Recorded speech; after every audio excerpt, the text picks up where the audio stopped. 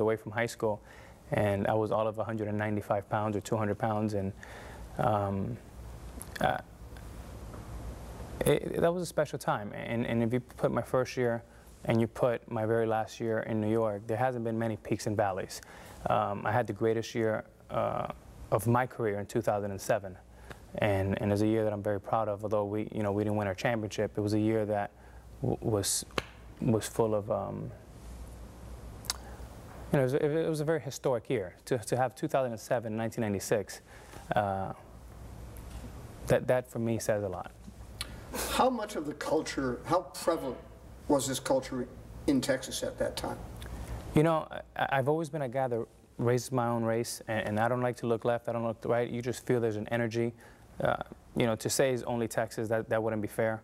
But overall, you felt that there was a, I felt a tremendous pressure to play and play really well. I felt like I was going up against the whole world.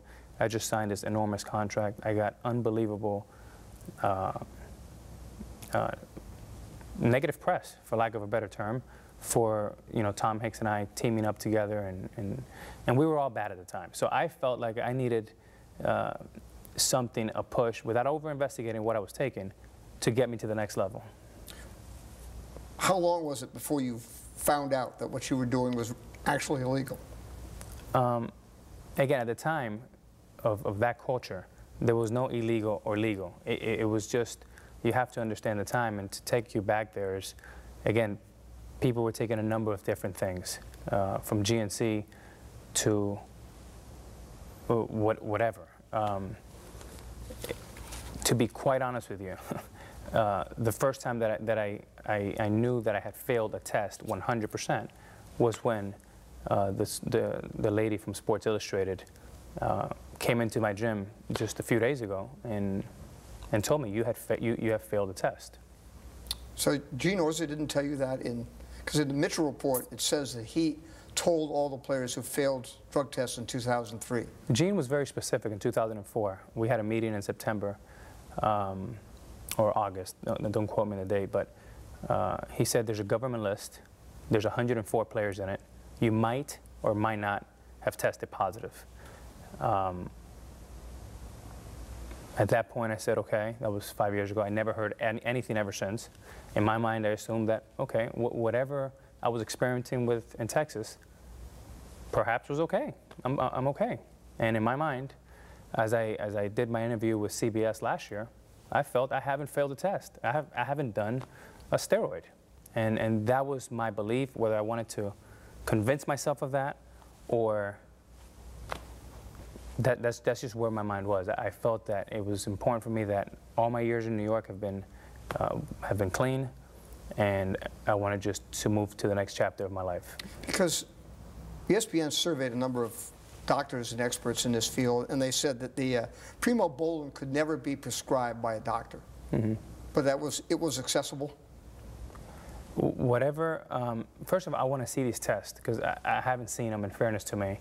Um, I am saying I was, I was, I'm guilty of being naive and, and not having all the information and, and being negligent, but I would love to see the test before I start answering questions that, that I don't, I've never even heard this word, but probably yesterday for the first time.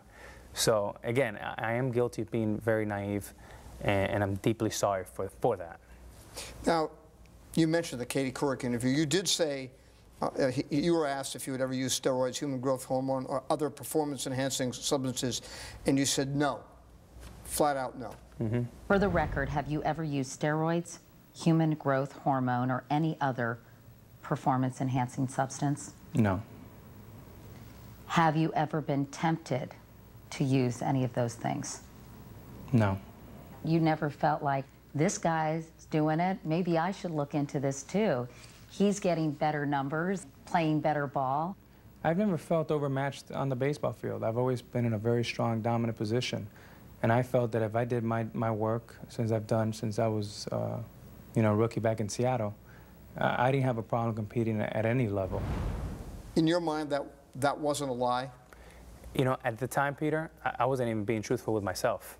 How am I going to be truthful with Katie or CBS? Um, today, I'm here to say the truth and I feel good about that. And I think my fans deserve that. and, and I'm ready to put everything behind me and go play baseball. And, and you know, we have a great team this year. I couldn't be more excited about the guys that we've brought in, and Mark Teixeira and AJ Burnett and, and CC Sabathia. And, and I think is, is an important time in my life to turn the page and, and focus on what's, what's next. So from 2004 on, you have been completely clean. Yes. Have you even been able to, to check and find out how many times you've been tested? I, you know, Peter, I don't, I don't know the, the, the, the, the real number, but I would guess at least eight to 10 times. Um, but I would like to know that number because I, I know I got, I've gotten tested quite a bit over the last five years. and you were tested with blood tests during the w, WBC in 2006, is that correct? Correct. I got tested in 2006 and also this year um, when I go down to Puerto Rico, I'm sure we're going to start getting tested again in 2009. And, and remember, prior to, to Texas, eh, not only did I I really had, at that time in, in Seattle, I never even heard of a player uh, taking a substance, uh, you know, a steroid of any kind in my Seattle days. Um, I mean, I know this, this, this lady from Sports Illustrated, Selena Roberts, is, is trying to throw things out there that I, in high school, I, tried steroid. I mean, that's the biggest bunch of baloney I've ever heard in my life. And I mean, what, what makes me upset is and, and that Sports Illustrated pays this lady, Selena Roberts, to stalk me. I mean, this lady's been thrown out of my apartment in New York City. This lady has, five days ago, just been thrown out of the University of Miami police for trespassing. And four days ago, she tried to break into my house while my girl, girls are up there sleeping and got cited by the Miami Beach police. I have the paper here. And this lady's coming out with all these allegations, all these lies, because she's writing an article for Sports Illustrated. And she's coming out with a book in May. And really respectable journalists are following this lady off the cliff and following her lead. And that to me is, is, is unfortunate. And uh, How do you go about making people believe you? Well, a few things. I mean, I think coming into the league at 20 years old and, and, and coming second to Juan Gonzalez in the MVP is, is one good indication. And then, you know, 14 years later in 2007, having the greatest year of my career is another. The other thing is I'm going to have a sample 14 years past this Texas era where I get to show and prove to the world, you know, who I am as a player. Uh, hopefully, I'm part of a, a championship team or two.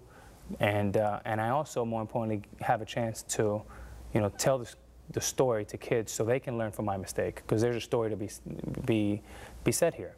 And, uh, and I'm looking forward to that challenge. But to me, uh, 09, uh, now I'm getting excited to go into spring training. When you take this gorilla and this monkey off your back, you realize that honesty is the only way. Uh, I'm finally beginning to grow up, and I- I'm pretty tired of being stupid and, and selfish and, and, you know, about myself when the truth needs to, needed to come out a long time ago. I'm glad it's coming out today. Two years ago, when Barry Bonds was passing Henry Aaron, it was written in a lot of places, well,